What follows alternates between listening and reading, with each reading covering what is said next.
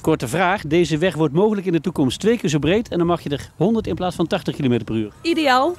Ja, het is ideaal. Ja, je kunt lekker doorrijden dan. De weg is breed genoeg dan en eh, ja, het gaat lekker eh, in één stuk door. Dat is mooi. Zeker voor personenauto's die voor je 70 gaan rijden. Helemaal toppie. Tot helemaal naar Veghel.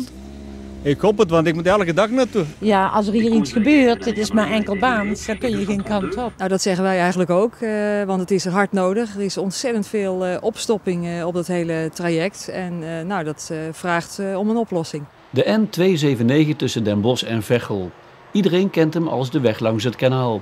En iedereen kent hem ook omdat je op deze provinciale eenbaansweg niet harder mag dan 80 km per uur. De weg wordt nu in één keer goed aangepakt. Nou, dan wordt de weg eh, verbreed naar 2 keer 2 eh, rijstroken. En de snelheid wordt verhoogd van 80 naar 100 km per uur.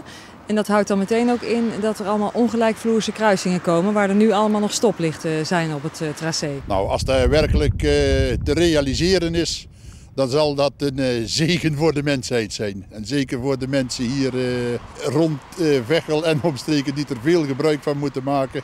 Maar ook voor de vreemden, het is, eh, zoals de huidige weg is, een levensgevaarlijke baan. Er moeten nog wel enkele details worden uitgewerkt. Nou, dat zijn met name de aansluitingen eh, bij, de, bij Veghel, bij de A50 natuurlijk. En aan de noordkant bij Den Bosch, de A2. Daar moeten we even heel goed nog uitwerken hoe dat technisch het beste kan. En dat doen we samen met Rijkswaterstaat. Maar dat is meer een technische uitwerking en dat, eh, dat komt wel goed. Niet alleen de automobilisten en de vrachtwagenchauffeurs zijn blij.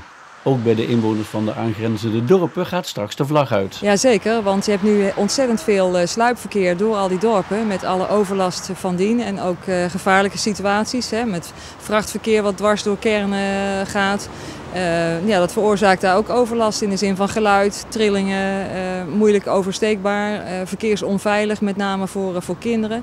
Dus die zullen er ook allemaal heel erg blij mee zijn als het gereed is, denk ik. Eh, als het doorloopt naar Veghel is het een zeker goed idee, want dat duurt echt een eeuwigheid voordat je daar bent eh, met 80 kilometer. Dus dat is een goed idee. Nou, vind ik wel een goede zaak, want het is een drukke weg. En nu is het balen.